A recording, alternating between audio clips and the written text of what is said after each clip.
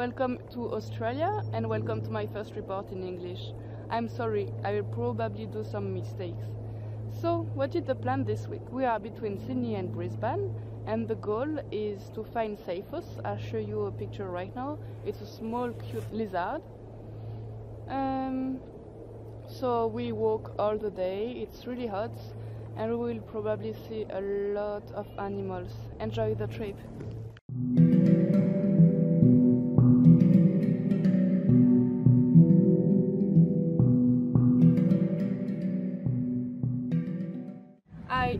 Introduce you team. Hi, I'm Katarina. Hi, I'm Ivan Beltran. Um, this is my field work and they are helping me to catch the lizards for my PhD in Sydney.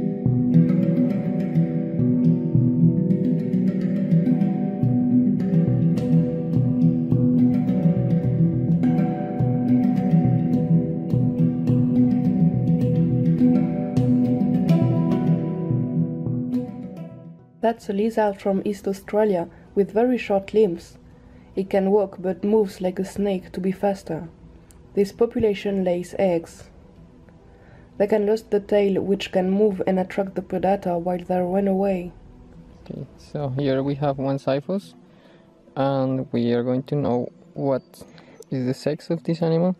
So for that we lift a bit the cloaca and as you can see they have a very uh, obvious U shape with two bulbs bumps in the in the base of the tail that are probably um, the hemipenes.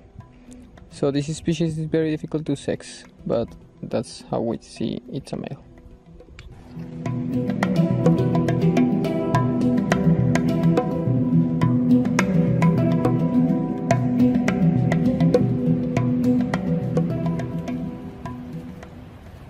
C'est un grand lace monitor, le deuxième plus grand lézard d'Australie. Il peut dépasser 2 mètres. Il se prélasse souvent sous le soleil matinal et parcourt 3 km par jour dans un territoire d'environ 65 hectares. Ils se nourrissent d'insectes, de reptiles, de petits mammifères, d'oiseaux et de leurs œufs. Ce sont des habitués des aires de pique-nique où ils volent la nourriture. Ils peuvent quand même être effrayés par l'homme dans la nature et se réfugier dans les arbres.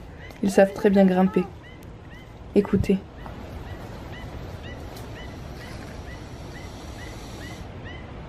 Celui-ci est vraiment fâché. Leur salive est pleine de bactéries qui peuvent causer des infections, mais elle contient aussi un peu de venin, il ne faut pas se faire mordre. Laissons-le tranquille.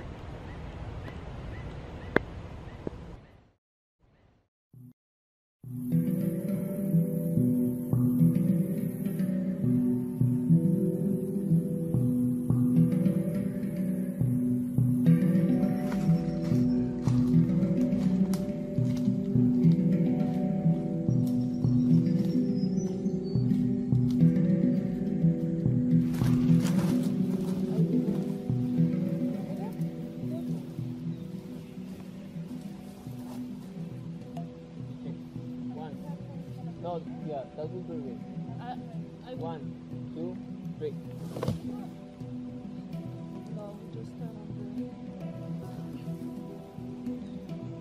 There was Harissa in there, but it's not that good. Yeah. Yeah, but I think-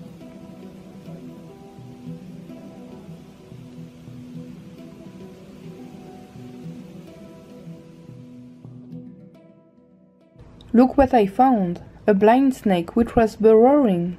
The head is indistinct from the neck, but we can see the eyes, very tiny and very rudimentary. It uses to feel the vibrations. They eat ants, the eggs, and larvae. They use this hooked spine on the tail as an anchor or a digging spike to push through hard soil.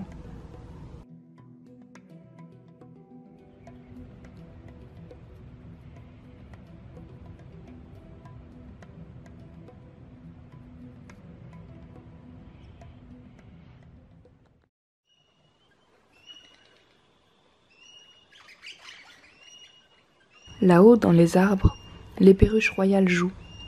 Leur tête rouge nous indique que ce sont des mâles. Les femelles ont une tête et une poitrine vertes.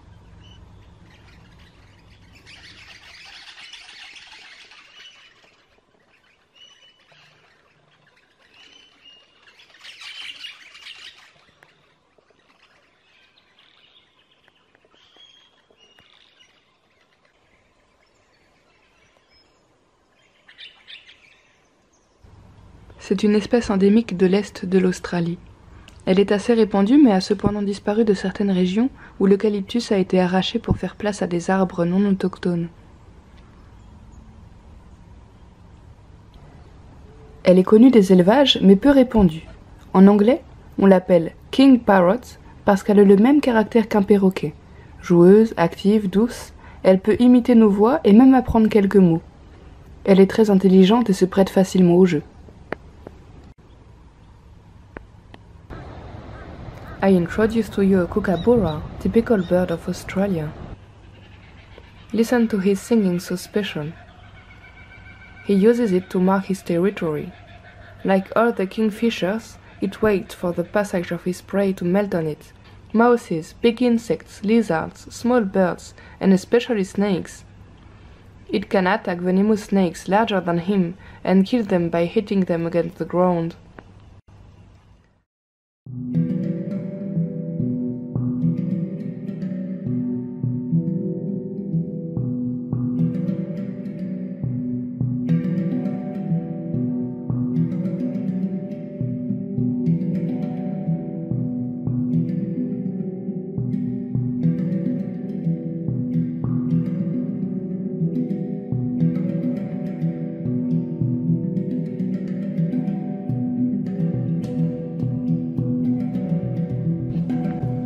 Look at this eastern bearded dragon, basking under the sun.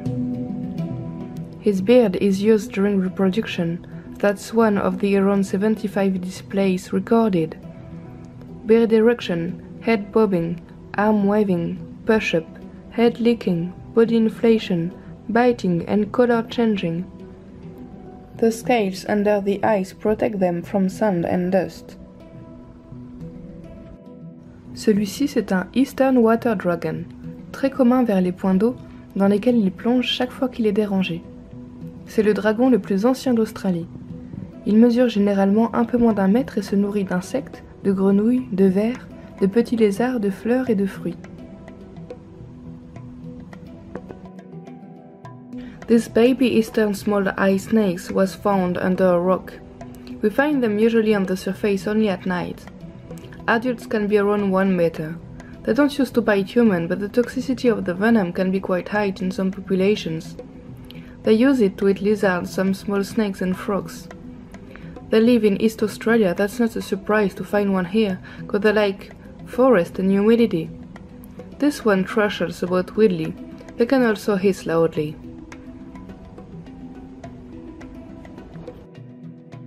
That's a red-bellied black snake. It's dangerous because of his venom, but it doesn't use to bite. It can be around 2 meters and a half. Look at it, this one is very big.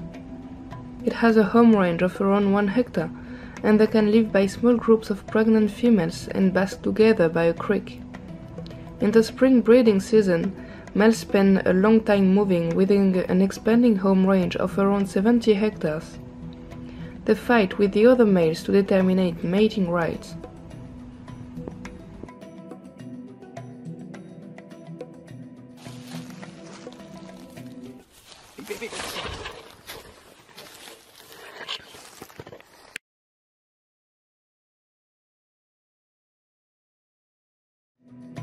This snake wanted to eat the frog, but his poison was too powerful and it died. That's common, and studies speak about an evolution of snakes, which are bigger with a smaller mouth to only eat frogs that are not big enough to kill them. But these frogs are bigger and bigger too. Le crapaud buffle a été introduit en Australie afin de réguler certaines espèces de coléoptères qui détruisent les cultures. Malheureusement, il n'a pas eu l'effet escompté et à l'inverse à détériorer l'écosystème. Non seulement parce que l'une des espèces visées est rarement au sol et donc rarement à sa portée, mais également à cause de son venin puissant qui est la cause du déclin de beaucoup de populations de reptiles. Nous le suspectons d'être l'une des causes de la disparition du Seiphos dans cette zone.